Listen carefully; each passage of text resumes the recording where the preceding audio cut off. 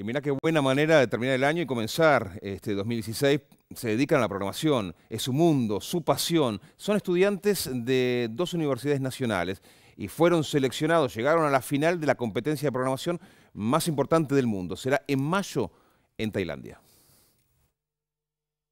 Aspiran a ganar el Mundial de Programación de Tailandia que se desarrollará en el mes de mayo del 2016.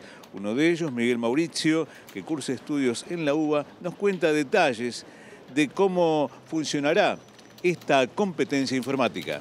Primero participamos del torneo de programación. Lo que se busca ahí es que cada universidad mande los sumo cuatro equipos para participar de la siguiente ronda. Y en esa ronda es la regional que lo que se hace es, bueno, entre lo que sería Argentina, Uruguay, Paraguay, Chile, Perú y Bolivia, se eligen a los sumo cuatro lugares. Y otra condición importante es que va a lo sumo uno por facultad.